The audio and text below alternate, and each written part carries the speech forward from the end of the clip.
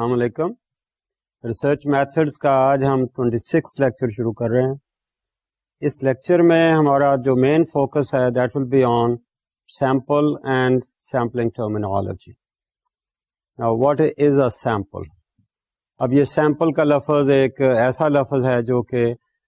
हमारे आम आम फहम ज़ुबान में इस्तेमाल होता है। वो कोई ज़रूरी नहीं कि प्रोफेशनल की बात करें।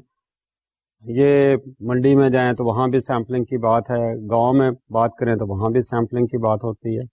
तो ये सैंपल जो है this is actually a subset of the total population या subset of something which is a bigger a smaller representation of a larger whole अब लार्जर होल जो है, वो क्या हो सकता है? Larger whole can be anything it can be bucket of water. It can be uh, maybe a bag of sugar. Sample को अगर उस हिसाब से देखें एक ह्यूमन बिहेवियर की बात करें तो that could be a small subset of the students group it can be a small set of mid level manager की बात कर सकते हैं. It could be the workers आप जहाँ की बात देखिए, वहीं आपको नज़र आएगा कि when we are talking about a bigger whole और बिगर थिंग उसमें से हम थोड़ी सी चीज़ लेकर उसको हम टेस्ट कर रहे हैं। तो this is what is called a sample so therefore if we are talking about sample that is a smaller representation of the something which is bigger और ये सैंपल जो है हम इस्तेमाल करते हैं ये क्यों इस्तेमाल करते हैं? Is it is it necessary that we should take a sample of the larger population और लार्जर होल और समथिंग बिगर आई थिंक उसके बहुत सारे रीजंस हैं। एक बहुत बड़ा रीजन जो है सैम्पलिंग का या सैंपल इस्तेमाल करने का, वो ये है कि it saves time it saves labour it saves cost as well तो एक लिहाज से हम ये कहेंगे कि दिस इज़ रादर प्रैग्मेटिक इस वेरी रैशनल के बजाय इसके कि हम टोटल पॉपुलेशन को या टोटल चीज़ को हम स्टडी करें उसमें से अगर हम स्मॉलर सैंपल लेकर uh, पता कर सकते हैं कि इस टोटलिटी की क्या खसूसियात हैं। तो why not to go for it तो certainly rather than going for the total population तो हम उसका एक छोटा सा हिस्सा लेकर हम स्टडी करते हैं। और इस छोटे स्टडी छोटे हिस्से की स्टडी की वजह से वी कैन सेव टाइम जहर है कि अगर हम टोटल की बात कर रहे हैं uh, एक लफज इस्तेमाल सैंपल के मुकाबले में एक लफज इस्तेमाल होता है टोटल इन्यूमरेशन या टोटल की बात करते हैं तो सेंसस की बात भी हो सकती है। तो सेंसस अगर बात कर रहे हैं टोटल इन्यूमरेशन की बात कर रहे हैं तो we are trying to contact अगर हम ह्यूमन uh, बीइंग की कर रहे हैं रिस्पोंडेंट की बात कर रहे हैं we are trying to contact each person और each respondent and obviously if we are doing that it's going to take more time it's going to, I think we have to use more labor. And obviously, अगर हम let's say interview कर रहे हैं या whatever the way technique we are using, it's going to increase the cost of that study as well. Therefore, uh, हमें sample से हमारी बचत होती है और अगर बचत होती है तो why not go for uh, go for that? So that's why it is called the, to go for sample study is really pragmatic. और ये बात वैसे वहाँ ज़रूरी है जहाँ पर हमारी पॉपुलेशन जो है वो बहुत बड़ी है और बड़ी पॉपुलेशन को स्टडी करने के लिए हमें ज़्यादा टाइम चाहिए या ज़्यादा उसकी कॉस्ट है तो वहाँ पर हम मशवरा देते हैं या तजवीज़ करते हैं कि that we should go for sample लेकिन अगर हमारी पॉपुलेशन स्मॉल है तो उसमें फिर ये मशवरा नहीं दिया जाता कि हम वहाँ सैम्पलिंग करें तो वहाँ पर हम यही कहते हैं go for the total study because uh, the population is uh, very small. Therefore, we go for total और इस इसका लफ्ज़ जो इसके लिए इस्तेमाल आम तौर पर होता है उसे हम सेंसस कहते हैं दूसरी इंपॉर्टेंट वजह हमारे सैम्पलिंग की ये है, या सैंपल के तरीके से स्टडी करने की ये है कि we can have quality control we can have quality management अब देखिए कि हम फ़ील्ड वर्क की जब बात करते हैं तो हमारे फ़ील्ड वर्कर्स जो हैं they are professional people professional हैं तो then I would say they are not in abundance that's a scarce kind of commodity और अगर स्केयर्स कमोडिटी है तो हमें उनको रैशनली uh, ही इस्तेमाल करना पड़ेगा So instead of doing on large population with less qualified staff, we suggest that we do a sample study with quality field workers. दूसरे लफ्जों में यह है कि चूँकि हमारे प्रोफेशनल जो हैं, वो प्रोफेशनल इंटरव्यूअर्स जो हैं या प्रोफेशनल फ़ील्ड वर्कर्स जो हैं या managers in the in the field जो हैं that's scarce commodity therefore अगर हमारे, हमारी पॉपुलेशन ज़्यादा है या हमारा एनिमोरेशन हम टोटल कर रहे हैं तो ऑब्वियसली हमें शायद कंप्रोमाइज़ करना पड़े लेस क्वालिफाइड स्टाफ के साथ। अगर लेस क्वालिफाइड स्टाफ है तो obviously we can expect uh, the the we, we, we can expect the quality of the work is likely to suffer therefore we should not compromise on that. We should go for quality and we should hire the highly qualified people. और अगर sampling से हमारे वही नतज निकलने के chances हैं करीब करीब वही नतज निकलने के चांसेस हैं Then we should not compromise on the quality of of the work और अगर लेटर से हम थोड़ा स्टाफ एम्प्लॉय कर रहे हैं, उनको मैनेज करना भी शायद आसान होगा और उसमें easier to manage a small group therefore हमें उनको कंट्रोल करना आसान होगा। हम उनको फॉलो अप अच्छे तरीके से कर सकेंगे। उनकी ट्रेनिंग ज़्यादा अच्छी हो सकेगी। उनकी सुपरविजन ज़्यादा अच्छी हो सकेगी। और इसी तरह से अगर हम लॉजिस्टिक्स की बात कर रहे हैं तो दैट में ऑल्सो भी ईजियर टू मैनेज अपना जो चीज़ें आ रही हैं इंफॉर्मेशन आ रही है डेटा आ रहा है रिकॉर्ड कीपिंग की बात कर रहे हैं। I think every thing is likely to be manage in a in a qualitatively better way than if we have a large population जहाँ से हमने डेटा कलेक्ट करना है और उसके लिए अगर हम लेस क्वालिफाइड लोग इस्तेमाल करेंगे तो obviously quality of the work is like to be suffer और साथ ही जैसे कि मैंने पहले कहा कि इनको फॉलो अप करना भी मुश्किल हो जाएगा, उनको मैनेज करना मुश्किल होगा, इसलिए we go for quality of information therefore हमें सैंपल से अगर क्वालिटी बेहतर मिलती है इंफॉर्मेशन की तो probably we go for it तीसरी बात सैम्पलिंग हम क्यों कर रहे हैं कि it provides us accurate and reliable results. इस तरह से हम ये देखते हैं कि properly selected samples are accurate और वो इसलिए कि अगर हमारी पॉपुलेशन जो है वो होमोजेनस है। होमोजेनस मींस के it has the same characteristics all the elements of the population जो हैं,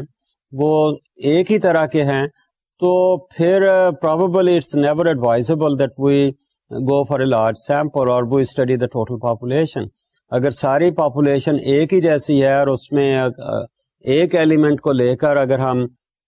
पूरी पॉपुलेशन के बारे में बता सकते हैं तो then why waste our time and resources and labour for studying the total population मिसाल के तौर पर, अब देखिए कि let's say we are talking about the blood samples अब blood samples we take it from the human body अब human body से अगर थोड़ा सैंपल लेकर हम ये बता सकते हैं कि इस बॉडी में जो ब्लड है, उसकी करेक्टरिस्टिक्स क्या हैं तो why drain out the whole whole of the blood so why not to go for a sample वो सैंपल हम देखते हैं कि जिसम के किसी भी हिस्से से आप ले रहे हैं तो it's going to have a same kind of characteristics therefore we see population whose elements have similar characteristics, तो जो सैंपल है it is going to be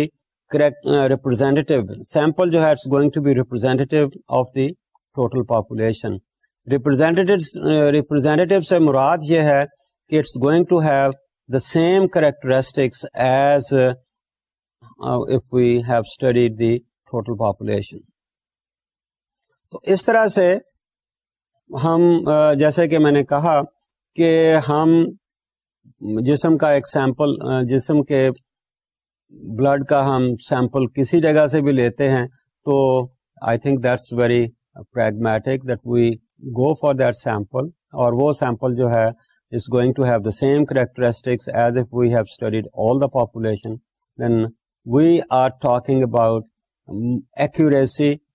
we are talking about the reliability of the results और वो अगर हम एक जगह से लेते हैं, तब भी हमें वही करेक्टरिस्टिक्स आ रही हैं, दूसरी जगह से लेते हैं, तब भी वही हमें रिजल्ट्स मिल रहे हैं तो that's that indicates the reliability of the results so large population अगर हम लेते हैं तो उसमें चांसेस हैं कि there will be more non sampling errors non sampling errors में इंटरव्यूअर की एरर्स हो सकती हैं उसमें हमारे रिस्पोंडेंट की तरफ़ से भी कोई एरर्स हो सकती हैं, कभी टेबुलेशन में भी एरर्स आ सकती हैं और उसमें फिर हमें सुपरविजन का भी मसला हो सकता है। और because of that lack of supervision जैसे पहले मैंने एक बात की quality of information can suffer there बड़ी सीधी सीधी बात है कि अगर हमारी पॉपुलेशन जिससे हम सैंपल ले रहे हैं, उसके सारे एलिमेंट जो हैं, एक ही तरह के हैं तो हमें बड़ा सैंपल या टोटल पॉपुलेशन को स्टडी करने की ज़रूरत नहीं है. That will be a wastage of of the resources that's that's not advisable और अगर उनमें वेरिएशन है डिसिमिलैरिटी है तो then perhaps we may have to look for something else वो जब हम सैम्पलिंग की बात करेंगे तो वहाँ हम डिटेल से बात करेंगे कि अगर पॉपुलेशन में डिसिमिलैरिटी है हेट्रोजनिटी है तो फिर हमें सैम्पलिंग में क्या करना चाहिए। बट एट द मोमेंट हम एक्यूरेसी की बात कर रहे हैं तो हमें यही करना। अगर अगर अगर डिसिमिलैरिटीज भी है तो उसमें यही कहेंगे कि अच्छा जी डिसिमिलैरिटीज है तो कितने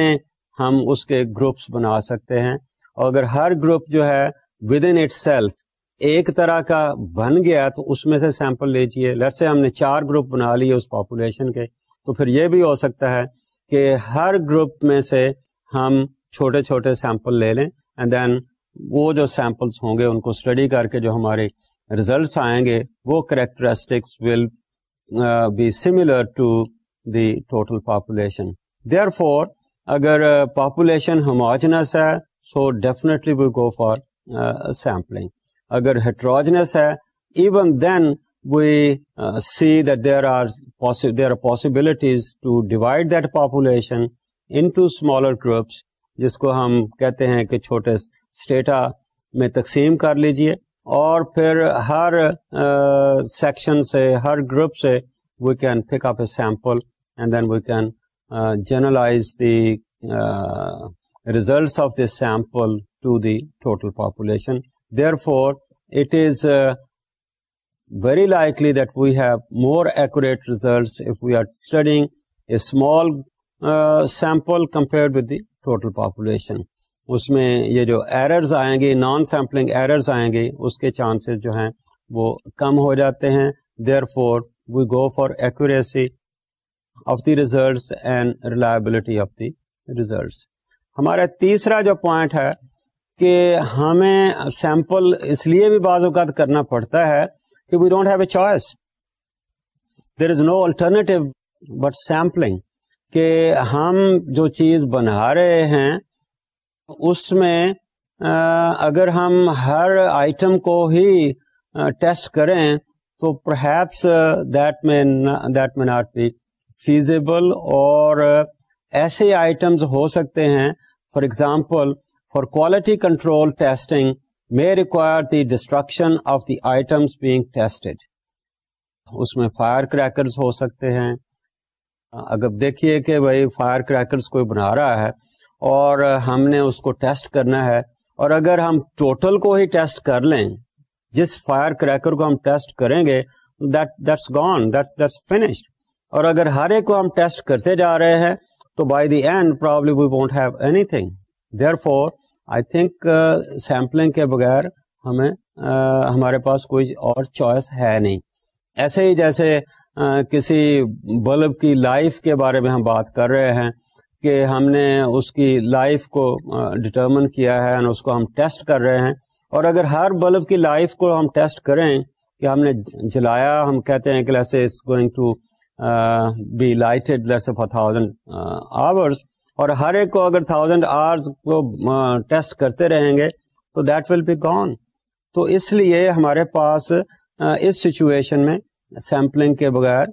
गुजारा नहीं है। इसी तरह कोई एमोनिशन की बात भी हो सकती है कि आपने अगर कोई एमोनिशन ऐसे बनाया है कोई बॉम्ब बनाया है तो अगर हम हर बॉम्ब को टेस्ट करेंगे तो हमारे पास फिर बचेगा क्या? तो इस सिचुएशन में आ, हम ये कहेंगे sampling is necessary because we don't have choice this is called destructive kind of testing there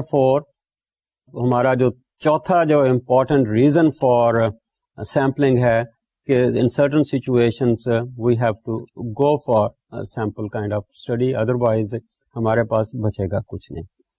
हमारा पांचवा जो है reason for going for sample is to determine the period of study अगर हम सैंपल स्टडी कर रहे हैं तो it's going to take short time और अगर हम लार्ज पॉपुलेशन स्टडी कर रहे हैं तो maybe it takes long period of time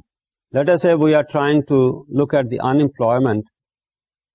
during the year और अगर हम वो सारे साल पे लेके जा रहे हैं, शुरू से लेकर आखिर तक तो जब हमारे पास रिज़ल्ट आएगा तो वो रिज़ल्ट हम उस साल के किस हिस्से के ऊपर हम कहेंगे कि is applicable is it in the beginning of the year in the January और let's say in the July August और what and obviously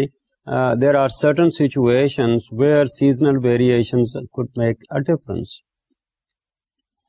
तो सेंसस स्टडी जो है that requires long time maybe year तो इन दैट सिचुएशन हमारा जो study of unemployment जिसकी मैंने मिसाल दी तो उसमें ये बात आएगी कि हम जो जनरलाइजेशन करेंगे, कि हम ये कहेंगे कि अनएम्प्लॉयमेंट इतनी है तो वो किस पीरियड की हम बात कर रहे हैं? Is it the mid year की बात कर रहे हैं? बिगिनिंग ऑफ़ द ईयर की बात कर रहे हैं? एंड ऑफ़ द ईयर की बात कर रहे हैं? तो समर की बात कर रहे हैं? विंटर की बात कर रहे हैं? I think that is how we have to go for sample in order to determine कि ये जो हमारी स्टडी है, ये किस पीरियड की स्टडी है, किस टाइम की स्टडी है। अगर हम लंबे अरसे के लिए कर रहे हैं तो मे भी उसमें और बहुत सारे फैक्टर्स आ जाएँगे, जो हम बाद में देखेंगे कि people might get tired and things like that तो हमारा जो है पांचवा जो आइटम था reason for sampling is to determine the period of study इसमें एक और अहम चीज़ बात है। अब डिपेंड करता है कि हम सैम्पलिंग किस तरह की ले रहे हैं। But definitely with the help of sampling we can determine the confidence level of the data खास तौर पर if we are talking about the probability sampling तो उसमें we can calculate the sampling error अब सैम्पलिंग एरर जो है इसकी वजह से we can determine the confidence level of the data इसके साथ ही फिर हम बात करते हैं कि depending on on the type of sampling we have used we could decide about the kind of statistics we could use and thereby there are some powerful i think uh, uh, statistical measures which could be applied for purposes of analysis. So these are some of the, uh, I think, important reasons that uh, researchers go for sample studies rather than going for the total uh, enumeration or total study of the of the population. इस background के साथ अब हम आगे चलते हैं कि sampling की कुछ टर्मिनोलॉजीज हैं और ये टर्मिनोलॉजी से हमें we should be well aware of the meanings which are attached with these terms which are often used and uh, often used and very frequently uh, these are part of our uh, research process so number of technical terms used that need explanation unme se जो सबसे पहली एक terminology है या concept है वो है element अब व्हाट इज एन एलिमेंट ये एलिमेंट जो है very frequent is being used and sometimes we may have to be very clear के it's being used appropriately element is a unit about which information is collected and is the basis of analysis. It can be a person, it can be a group, it can be a family, an organization, or a community. Now, element is that unit about which information is being uh, collected. Uh, as I said, it could be an individual. Individual can be a student. It could be uh, a worker. It could be a housewife. It could be uh, somebody else. And then that element could be a, a, dyad, it could be a group of two persons only, and that group could be a family. Similarly, हमारा जो element है, that could be an organization. Organization of a particular type, for example, or it could be a community uh, like uh, people living in a mohalla, or people living in a in a union council, or people living in a village. So that's very important kind of concept और इसको हम uh, बहुत दफ़ा अपनी अगली terminology जो आएगी उसमें हम इसे इस्तेमाल करेंगे। दूसरी हमारे इंपॉर्टेंट कॉन्सेप्ट है पॉपुलेशन अब पॉपुलेशन क्या है? Actually it is compose of those very elements in which we are interested अब दोज एलिमेंट्स क्या हैं? उसकी एक थियोरेटिकल डेफिनेशन आती है। अब थियोरेटिकल डेफिनेशन मिसाल के तौर पर स्टूडेंट्स की बात कर रहे हैं तो स्टूडेंट्स की एक थियोरेटिकल डेफिनेशन हमें नज़र आएगी। जब पॉपुलेशन की बात कर रहे हैं तो उसको हम थियोरेटिकल डेफिनेशन के हवाले से देखना चाहते हैं। तो उसको अगर हम ऐसे कहें कि population is theoretically specified aggregation of study elements अब वो स्टडी एलिमेंट्स जो हैं, जिसकी डेफिनेशन पहले हम एलिमेंट की बात की, उनको हम इकट्ठा करें तो हमारी पॉपुलेशन बनती है। लेटर से मैंने स्टूडेंट्स का लफ्ज यूज़ किया let's use the word college students अब कॉलेज स्टूडेंट्स की एक डेफिनेशन हम बनाते हैं कि who is a college student college students में भी इंटरमीडिएट का स्टूडेंट है, या हम डिग्री का स्टूडेंट की बात कर रहे हैं या हम कॉलेज ले रहे हैं कि जो कि जिसमें इंटरमीडिएट भी है और ग्रेजुएट लेवल भी है और कॉलेज में पोस्ट ग्रेजुएट्स भी हो सकते हैं। अब डिपेंड करता है कि कॉलेज स्टूडेंट से हमारे क्या मुराद है। अब ये कॉलेज स्टूडेंट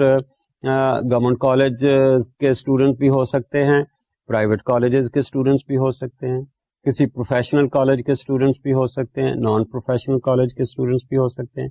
अब theoretically we have to really define what is our population. So उसमें बात यह है translating the abstract concept into workable concept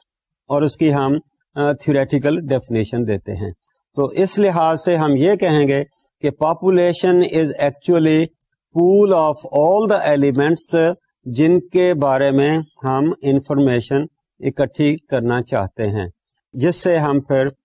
on we are going to draw a sample. So element and population. Uh, elements is the perhaps the smallest unit of the total population. इन सब elements को हम इकट्ठा करें तो वो हमारी एक population बनती है हम उसको थ्योरेटिकल पॉपुलेशन कहें क्योंकि उसके इस पॉपुलेशन के साथ फिर और थोड़े से लफज आ रहे हैं कि इस बड़ी पॉपुलेशन से then we move on to the third importance concept जो कि यूज़ होती है सैम्पलिंग में that is called target population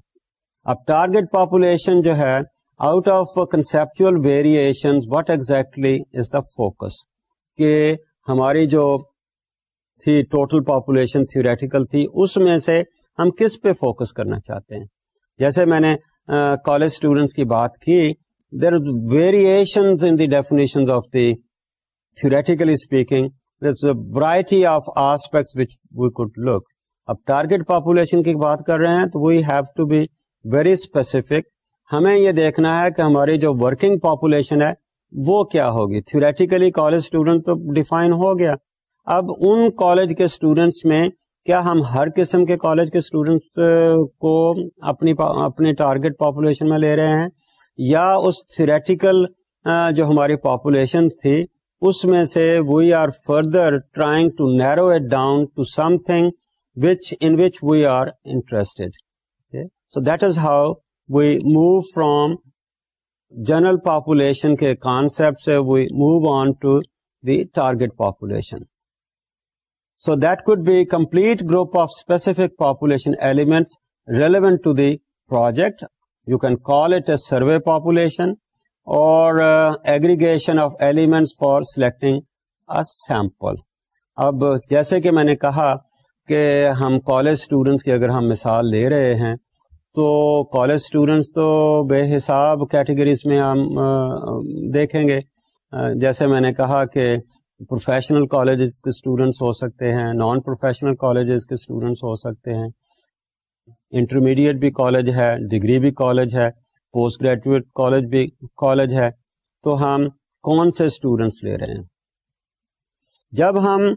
in students में से हम फोकस कर रहे हैं on specific kind of students तो उसको फिर हम कह रहे हैं that will be our target population let us say कि मैं कहता हूँ कि इस कॉलेज स्टूडेंट्स में से हम ले रहे हैं कि वो स्टूडेंट्स जो कि let us say in the government colleges में स्टडी कर रहे हैं। और वो गवर्नमेंट कॉलेजेस में स्टडी करने वाले स्टूडेंट्स में से वी कैन फर्दर स्पेसिफाई क्योंकि जो गवर्नमेंट कॉलेज के इंस्टीट्यूशंस हैं, उनमें जो स्टूडेंट स्टडी कर रहे हैं, उनमें again we come across lots of variations क्या हम वो सारी वेरिएशंस ले रहे हैं, या उनमें से फर्दर नैरो डाउन कर रहे हैं? इन कॉलेजेस में कोई लड़कियों के कॉलेज भी हो सकते हैं, कोई लड़कों के कॉलेजेस हो सकते हैं। फिर इन्हीं स्टूडेंट्स में से सब्जेक्ट के हिसाब से वेरिएशन हो सकती है। कोई नेचुरल साइंसेस के स्टूडेंट्स हो सकते हैं, कोई आर्ट्स के स्टूडेंट्स हैं, कोई ह्यूमैनिटीज के स्टूडेंट्स हैं, कोई सोशल साइंसेस के स्टूडेंट्स हैं। तो हम किसको ले रहे हैं? तो लेट अस से कि हम फोकस कर रहे हैं on college students who are studying in the government institutions और वो स्टूडेंट जो कि सोशल साइंसेस पढ़ रहे हैं और उनकी अगर फर्दर हम स्पेसिफाई करें कि उनकी उम्र 19 इयर्स है और वो हमारे रूरल एरिया से आए हैं तो इस तरह से ये हमारी टारगेट पॉपुलेशन होगी जनरल पॉपुलेशन की बात की है तो स्टूडेंट्स हमारी पॉपुलेशन है। अमंग्स द स्टूडेंट्स हमारी कॉलेज स्टूडेंट्स पॉपुलेशन है। कॉलेज स्टूडेंट्स में से हमारी वर्किंग पॉपुलेशन क्या है, या सर्वे पॉपुलेशन क्या है, या टारगेट पॉपुलेशन क्या है, वो हमने फर्दर स्पेसिफाई किया कि ये वो स्टूडेंट्स हैं जो कि गवर्नमेंट कॉलेजेस में पढ़ रहे हैं, नंबर ऑफ़ गवर्नमेंट कॉलेज। अभी इसमें यह नहीं देखा कि हम पूरे प्रोविंस की बात कर रहे हैं या एक सिटी की बात कर रहे हैं। So we can further narrow it down और वो पॉपुलेशन जिसमें से हमने एक्चुअली सैंपल ड्रॉ करना है, उसके पैरामीटर्स जब हम डिटर्मन कर देते हैं तो वो हमारी टारगेट पॉपुलेशन होगी। हमारी इस मिसाल में, जैसे मैंने कहा कि वो स्टूडेंट्स जो कि गवर्नमेंट कॉलेज में पढ़ रहे हैं, और उनमें से हम साइंस के स्टूडेंट सोशल साइंसेज के स्टूडेंट्स ले रहे हैं, और वो स्टूडेंट जिनकी उम्र अबाउट 19 ईयर्स है प्लस माइनस और वो स्टूडेंट्स जो कि रूरल एरिया से आ रहे हैं सो हम इस पूल ऑफ़ एलिमेंट्स में से हम अपना सैंपल ड्रॉ करेंगे। तो ये जो पूल ऑफ़ एलिमेंट्स हैं लुकिंग इनटू दीज कैरेक्टरिस्टिक्स ये हमारी टारगेट पॉपुलेशन होगी। So that is how we might call it as a survey population या वो पॉपुलेशन जिसमें से हमने सैंपल ड्रॉ करना है। हमारी चौथी जो है कॉन्सेप्ट इन टर्म टर्मिनोलॉजीज में सैम्पलिंग uh, टर्मिनोलॉजीज में चौथी हमारी टर्म है सैम्पलिंग पहले हमने बात की है सैंपल की. अब हम बात कर रहे हैं सैंपलिंग की. ओके सैंपल तो था कि जो हमने यूनिट वहाँ से ड्रॉ किया. सैंपलिंग जो है दिस इज़ द प्रोसीजर और a process of using a small number of items और इससे सैंपलिंग के तरीके से हम एस्टिमेट करते हैं, estimate unknown characteristics of the population. Sampling का एक प्रोसेस है, एक प्रोसीजर है, और वो प्रोसीजर जो है वो वो फॉलो करते हैं। उसमें टाइप्स ऑफ़ सैंपल्स आएँगी, और वो टाइप्स ऑफ़ सैंपल्स को सामने रखकर फिर हम देखते हैं कि इसको हम किस तरीके से लेते हैं। तो प्रोसेस है या प्रोसीजर है या स्टेप्स हैं कि इस जो भी हम सैंपलिंग का तरीका अख्तियार करते हैं उसको फॉलो करने के लिए हम कौन से स्टेप्स अडॉप्ट करते हैं। So that's sampling sampling process of the selection of sampling depend कर रहा है कि हम किस तरीके से uh, हम सैंपल को सिलेक्ट uh, करेंगे। जैसे मैंने कहा यह डिपेंड करता है कि टाइप ऑफ़ सैम्पलिंग किस किस्म की है, वो ब्रॉडली स्पीकिंग मैं ऐसे ही सेंसिटाइज करने के लिए कह रहा हूँ कि प्रोबेबिलिटी सैम्पलिंग है कि नॉन प्रोबेबिलिटी सैम्पलिंग है। इसकी डिटेल्स में बाद में हम डिस्कस करेंगे अगले लेक्चर में। यहाँ पर सिर्फ़ इतना ही है कि प्रोबेबिलिटी का सैम्पलिंग है तो उसका एक जो प्रोसेस है या तरीक़ेकार है, वो डिफरेंट होगा compared with non probability sampling और within the probability then perhaps there could be different ways of uh, selecting the uh, sample so that is uh, how we look at this fourth terminology which is called sampling. हमारा fifth point है sampling frame अब sampling frame is actually the list of population elements वो list है जिसमें से हम actually sample draw करेंगे। देखिए, हमने टारगेट पॉपुलेशन की बात की और टारगेट पॉपुलेशन में कहा कि कॉलेज स्टूडेंट्स हैं of a certain age who are studying in a particular type of institutions और उनके सब्जेक्ट्स क्या होंगे और उनकी बैकग्राउंड हमने कहा कि रूरल होगी। अब इस किस्म की करेक्टरिस्टिक्स के जो स्टूडेंट्स हैं उनकी अगर हम लिस्ट बनाएँ तो वो लिस्ट जो मीट करेगी इस क्राइटेरिया को, वो हमारा सैम्पलिंग फ्रेम होगा। दूसरे लफ्जों में मैं ये कहूँगा कि sampling frame is the list of those elements which meet the criteria और उसमें से, उस लिस्ट में से हम सैंपल ड्रॉ करेंगे। तो ये जो लिस्ट है that is called a sampling frame अब कभी ये जो लिस्ट है, हमें कहीं से बनी बनाई मिल जाती है, कभी हमें ये लिस्ट खुद बनानी पड़ती है। अब डिपेंड करता है कि जो बनी बनाई लिस्ट है, वो किस हद तक पहली बात है अवेलेबल है, दूसरी बात है कि वो ऑथेंटिक है। अगर अवेलेबल है रेडीली अवेलेबल है, और depending upon the time available to us we might make use of the same thing अब ये लिस्ट जो है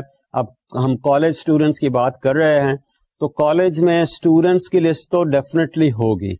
लेकिन उस लिस्ट को लिस्ट में से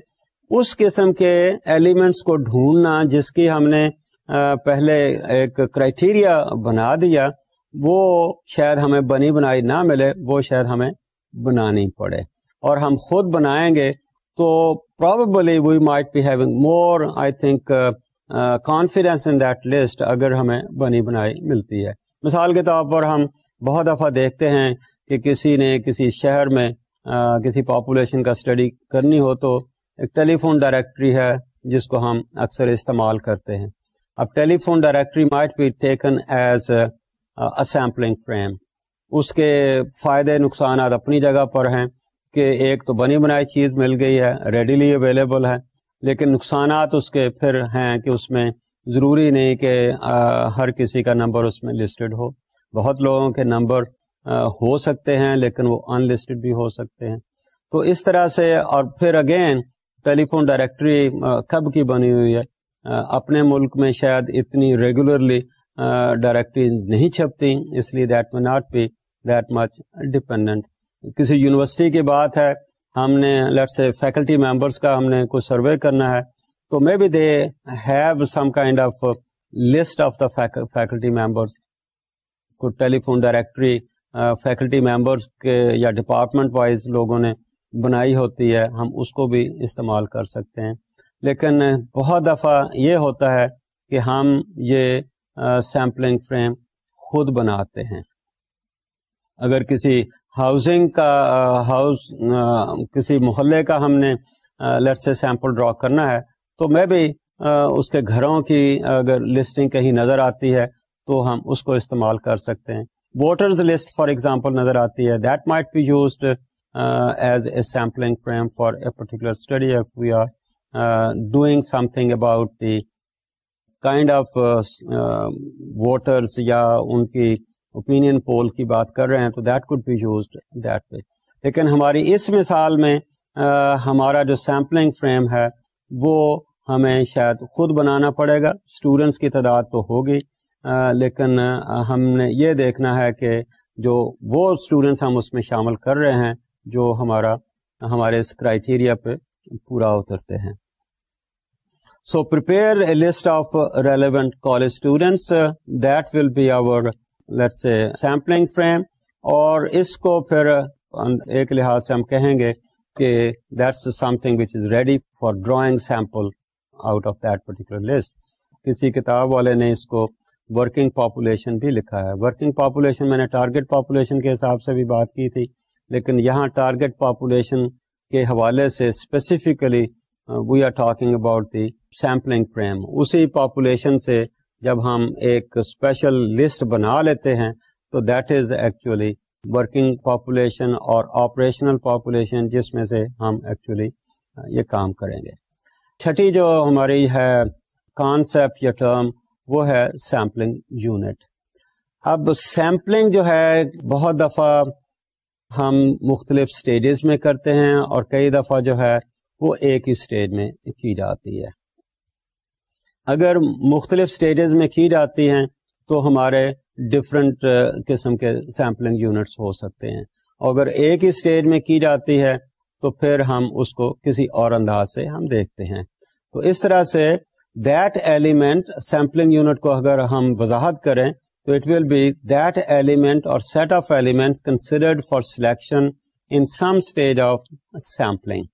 तो उसमें हमारे जो लिस्ट है उसमें से हम सैम्पलिंग हमारा जो सैम्पलिंग फ्रेम है, उसमें से हम ड्रॉ कर रहे हैं। तो वो एलिमेंट जो कि किसी स्टेज पर हम उसको सिलेक्ट कर रहे हैं that will be our sampling unit अगर एक ही स्टेज में कर रहे हैं तो फिर उसमें कोई मसला नहीं है। अगर हम डिफरेंट स्टेजेस में कर रहे हैं then probably will have different names for example in single stage sampling the units are the same as elements और अगर हम मुख्तलिफ़ स्टेजेस में कर रहे हैं तो फिर हमारे जो यूनिट्स हैं, वो होंगे डिफरेंट होंगे हमारे जो हैं एलिमेंट से। मिसाल के तौर पर हम कहते हैं कि हम मल्टी स्टेज सैम्पलिंग कर रहे हैं। और वो मल्टी स्टेज सैम्पलिंग जो है, वो डिफरेंट लेवल्स पर होगी। अब उसमें मिसाल के तौर पर मल्टी स्टेज में है कि पहले हमने मोहल्ले लिए हुए हैं। मोहल्लों का एक हमने लिस्ट बनाई है, उसमें से पहले हमने मोहल्ले चुने। अब मोहल्ले चुनने के बाद जो हमारे सैंपल में मोहल्ले आए हैं, उसमें से हम देखते हैं कि हर जो सिलेक्टेड मोहल्ला है, उसमें हाउस होल्ड कितने उनकी लिस्टिंग क्या है। फिर हाउस होल्ड की लिस्टिंग में से हम हाउस होल्ड चुनते हैं और जो फिर हाउस होल्ड चुने गए हैं, उस सिलेक्टेड हाउस होल्ड में से हम फिर अपना रिस्पोंडेंट जिससे हमने इंफॉर्मेशन इकट्ठी करनी है। तो इस तरह से हमने इसको तीन स्टेजेस में सैंपल को चुनने की कोशिश की। आल दो हर स्टेज पर हो सकता है हम एक रैंडम तरीका इख्तियार करें, लेकिन पहला स्टेज जो है हम उसको कह लें कि भाई that's a primary unit of selection दूसरे में हम उसको सेकेंडरी सैम्पलिंग यूनिट कहेंगे. तीसरे को हम फाइनल सैम्पलिंग यूनिट कह सकते हैं. तो इस तरह से डिपेंड करता है कि हम एक स्टेज में सैंपल सेलेक्ट कर रहे हैं या मुख्तलिफ़ स्टेजेस में कर रहे हैं. अगर एक स्टेज में कर रहे हैं तो हमारा सैम्पलिंग यूनिट और जो एलिमेंट है जिससे हमने इंफॉर्मेशन इकट्ठी करनी है इट्स द सेम अगर हम मुख्तलिफ़ स्टेजेस में कर रहे हैं तो फिर हम इनको मुख्तलिफ़ नाम दे रहे हैं सैम्पलिंग यूनिट का। इस मिसाल में मैंने तीन स्टेजेस की बात की तो तीन स्टेजेस में से हर स्टेज को हम नाम दे रहे हैं, जो पहली स्टेज का सैम्पलिंग यूनिट है, उसको प्राइमरी यूनिट सैम्पलिंग यूनिट कहा। दूसरे को हमने सेकेंडरी सैम्पलिंग यूनिट कहा, और तीसरे को हमने फाइनल सैम्पलिंग यूनिट कहा। ये ऐसे मिसाल है। अब तीन के बजाय दो भी हो सकते हैं तीन के बजाय चार भी हो सकते हैं and then we may have different names names में कोई ऐसी बात नहीं है। नाम तो हम uh, खुद रखते हैं। प्राइमरी सेकेंडरी की बजाय आप ये भी कह सकते हैं। First level of sampling unit second level of sampling unit third level of sampling unit ये डिपेंड करता है कि हमने कौन सी टर्मिनोलॉजी यूज़ करनी है या उसमें which is convenient for us so that is how at that whether it's a sam- single uh, stage kind of sampling or it's a multi-stage kind of sampling. Depend करता है कि हमारा sampling जो का तरीक़ेकार है वो सिंपल सैंपल है या कॉम्प्लेक्स किस्म का सैंपल है। कॉम्प्लेक्स है तो उसमें मल्टी स्टेजेस की बात आएगी। हमारी अगली जो टर्म है, उसको हम कहते हैं observation unit what is observation unit observation unit को हम इस तरह से डिफाइन कर रहे हैं the unit of data collection from which information is collected अब ये इसलिए शायद ज़्यादा इम्पोर्टेंट है, हमें इस पे देखना कि एक लफज आता है ऑब्जर्वेशन यूनिट और एक लफज आता है unit of analysis observation unit वो है कि हम जिससे इंफॉर्मेशन इकट्ठी कर रहे हैं। और ज़रूरी नहीं कि जिससे हम इंफॉर्मेशन इकट्ठी कर रहे हैं, वही हमारा फाइनली यूनिट ऑफ़ एनालिसिस भी हो। हमारा जो रिस्पोंडेंट है, वो हमें इंफॉर्मेशन दे रहा है। क्या ये वो इंफॉर्मेशन जो दे रहा है, उसी को ही हम एनालाइज करेंगे, या वो इंफॉर्मेशन अपने अलावा किसी और के बारे में भी दे रहा है, हम उसको एनालिसिस करेंगे। तो हमारा जो unit of data collection from which information is collected that's observation unit और इसकी मिसाल ऐसे ही आप देखिए कि हम घर के जो लर्स हेड ऑफ़ द फैमिली है, उससे हम इंफॉर्मेशन इकट्ठी कर रहे हैं। और इंफॉर्मेशन ना सिर्फ़ उसके अपने बारे में है, बल्कि पूरे घर के बारे में हम इकट्ठी कर रहे हैं। और शायद हमारा यूनिट ऑफ़ एनालिसिस जो है, वो हेड ऑफ़ द फैमिली ना हो, बल्कि सारे मेंबर्स जो उस घर में रहते हैं, वो उसका हिस्सा हों। इसकी एक मिसाल हमें ऐसी नज़र आती है, जिस तरह हमने पॉपुलेशन सेंसस हमने की। और पॉपुलेशन सेंसस में हमने हेड ऑफ़ द फैमिली या one person from the family को लेकर उससे पूरे ख़ानदान के बारे में हमने इंफॉर्मेशन इकट्ठी की। और उसमें उसकी एज पूछी है सेक्स पूछी है ऑक्यूपेशन पूछा है एजुकेशन पूछी है लैंग्वेजेस पूछी हैं काफ़ी सारी चीज़ें पूछी हैं। और उन लोगों के बारे में पूछी, उन लोगों के बारे में भी पूछी हैं जो कि शायद खुद वो इंफॉर्मेशन दे ना सके। मिसाल के तौर पर बहुत छोटे छोटे बच्चे हैं, जो शायद अपने बारे में कुछ भी ना बता सकें। हमने वो सारी information head of the family से पूछी। तो यूनिट ऑफ़ ऑब्जर्वेशन हमारा यहाँ हेड ऑफ़ द फैमिली था नॉट के इंडिविजुअल मेंबर्स लेकिन जब हमने एनालिसिस किया इस पॉपुलेशन का तो उस एनालिसिस में वो हेड ऑफ़ द फैमिली नहीं था, बल्कि वो सब लोग थे जो कि उसके, उस घर में रहते थे। सो यूनिट ऑफ़ ऑब्जर्वेशन जो है इस मिसाल में जैसे मैंने कहा could be different than the unit of analysis and definitely observation unit वही होता है जो कि हमें इंफॉर्मेशन मुहैया कर रहा है, जो हमें इंफॉर्मेशन दे रहा है। और अपने बारे में या दूसरों, अपने घर वालों के बारे में या लेट से अपनी ऑर्गेनाइजेशन के बारे में, एक हेड ऑफ़ द डिपार्टमेंट जो है might be providing information about all the let's say students of office department organisation में भी किसी सेक्शन का हेड जो है अपने अपने सेक्शन के बारे में इंफॉर्मेशन दे रहा हो। But the unit of observation is different then unit of analysis इस तरह से unit of observation that person that let's say group जो कि हमें इंफॉर्मेशन मुहैया कर रहा हो। हमारा नेक्स्ट जो कॉन्सेप्ट है, वो पैरामीटर है। पैरामीटर जो है that is summary description of a given variable in population इसमें आप कह सकते हैं कि पॉपुलेशन का पैरामीटर में भी mean income of the families let's in a city उसमें मीन एज भी हो सकती है of the population in a city when we talk about the parameter that is the some some kind of statistics, some kind of information uh, which is about the total population. So that's that is called parameter. Survey research जो है इससे हम कोशिश करते हैं कि उस सर्वे के बेसिस पर या उस सैंपल सर्वे के बेसिस पर we try to make an estimation of the parameter of which is uh, of the total population. So this is how we look at parameter is that uh, uh, summary kind of uh, description which is applicable to the total population. जैसे मैंने कहा it could be mean education or uh, mean age of the people जो कि पूरी population में नजर आती है could be life expectancy of the people uh, which is there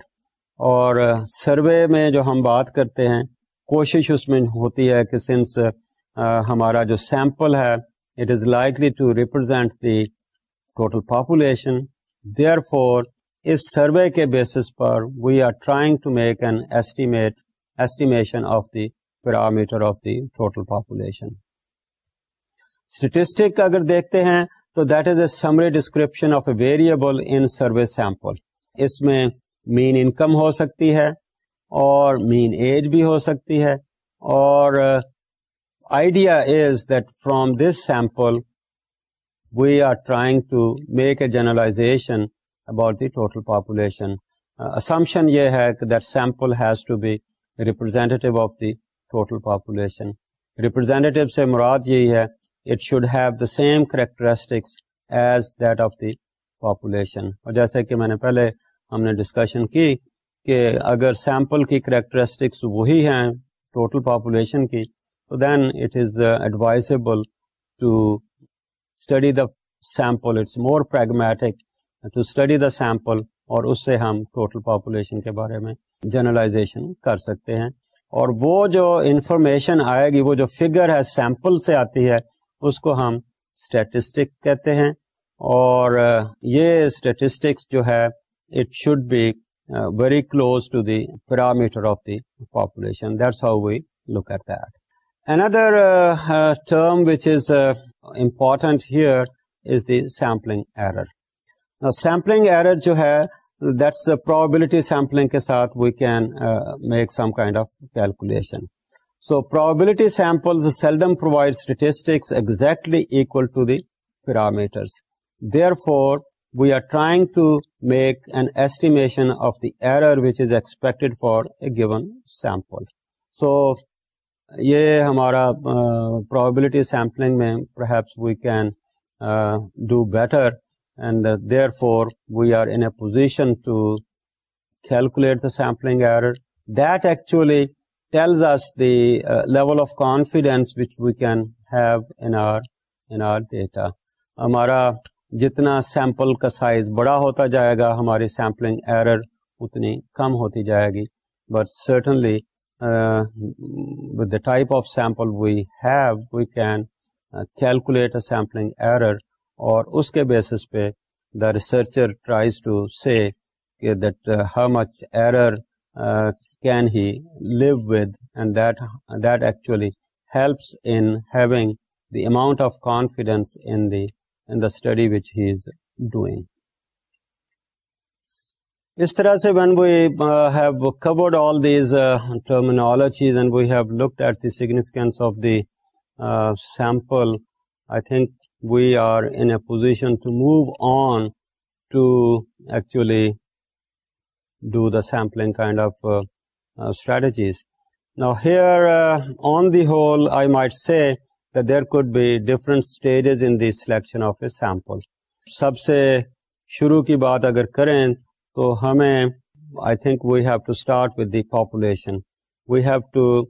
look into the population कि हमारी population क्या है और उसमें जैसे कि बात हुई थी कि theoretically हमारी population क्या है और theoretical population से हम फिर आगे चलते हैं कि हमारी टारगेट पॉपुलेशन क्या है टारगेट पॉपुलेशन से मुराद, जैसे कि हमने बात की, वो पॉपुलेशन है जो कि हमने क्राइटेरिया के बेसिस पर अपनी स्टडी के लिए सिलेक्ट की है। और वो जब हमने कर ली है तो फिर हम आगे मूव करते हैं with respect to the sampling frame जो टारगेट पॉपुलेशन हमने बनाई, उसमें से, Now we are moving to operational population या लफज था वर्किंग पॉपुलेशन उसमें से हम अपने क्राइटेरिया के मुताबिक उन एलिमेंट्स की लिस्टिंग बनाते हैं, जिसमें से हमने अपना सैंपल ड्रॉ करना है। उस लिस्टिंग के साथ ही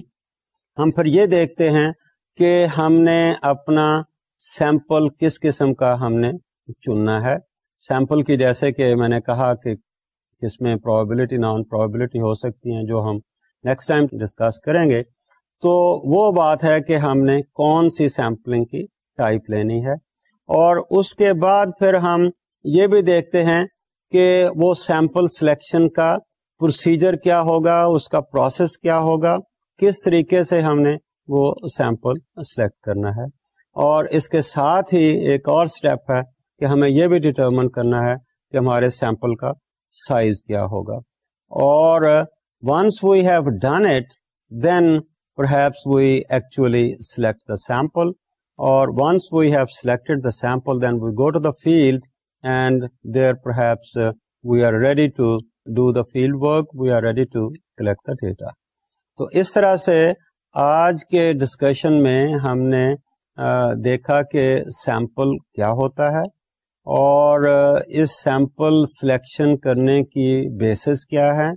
इसकी सिग्निफिकेंस क्या है उसके लेटर से उसकी स्ट्रेंथ्स क्या है। और उस स्ट्रेंथ्स के साथ ही हमने ये भी देखा कि there are number of terms and concept which are very frequently use when we are discussing the sample and population उनकी हमने डिस्कशन डिस्कशन की। तो इस तरह से uh, we are actually ready the next discussion जिसमें हम we will go for type of uh, sample और वो डिस्कशन जो है हम अगली दफ़ा करेंगे आज के लेसन यहाँ ख़त्म करते हैं थैंक यू वेरी मच